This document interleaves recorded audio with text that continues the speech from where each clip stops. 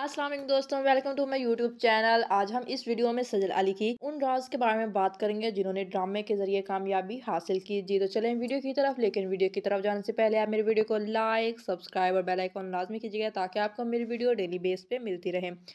पाकिस्तान की नौजवान और खूबसूरत अदाकारा सजल अली, जिस ड्रामे में अदा करती हैं, वो सुपर हिट हो जाता है। सजल अली बिलाशबा इस दौर का एक बड़ा सितारा है। जो बहुत हुनरमंद अदाकारा हैं। सजल अली ने अपनी मेहनत और अदाकारी के बलबूते पर अरूज पाया। सजल अली आजकल ड्रामा सीरियल जर्द पत्तों के बाद में मीनू का किरदार निभा रही है, जिसे बेहद पसंद किया जा रहा है। सजल अली ने अपने करियर का आगाज़ नौजवानी में हमायूं सईद के प्रोडक्शन में किया। उन्होंने कई अवार्ड अपने नाम किए, जिसमें तगमा, इम्तियाज़ शामिल है, जिनको पाकिस्तान गवर्नमेंट की तरफ़ से दिया गया। अब तक सजल ने अपने करियर में बहुत से ड्रामे किए हैं, जिन्होंने खिड़की तो और मकबूलियत पाई। नज़र अली के बेहतरीन छह ड्रामों पर नज़र दुराते हैं, जिनमें नन्नी भी शामिल है, जो 2013 में जियो पर ऑन एयर हुआ था, जिसका स्क्रीप बहुत शानदार था। ड्रामास की बात करें, इन्होंने ड्रामा बनाया था चुप रहो, जो कि बहुत ही बेहतरीन ड्रामा था और बहुत ही हिट हुआ था। बेहद बेहद में एक बार फिर सजल अली ने अच्छा किरदार अदा करके शायकीन के दिल जीत लिया यकीन का सफ़र, ड्रामा, यकीन के सफ़र में सजल अली और हरजा मीर ने मरकजी किरदार अदा किया। उनकी केमिस्ट्री सामीन को बेहद पसंद आई और बाद में हकीकी ज़िंदगी की केमिस्ट्री में बदल गई। अलीफ अलीफ एक ऐसा ड्रामा है जिसने रूहानियत को रोज़मर्रा के घरानों में जेर बहस बनाया। कुछ अनकही कुछ अनकही में सजल अली और बिलाल अब्बास भी स्क्रीन पर देखने को मिला। ये एक मल्टी स्टार ड्रामा था जिसमें कई अलग ट्रैक चल रहे थे, मगर सजल अली अपनी अदाकारी की वजह से लोगों की तवज्जो का मरकज बनी।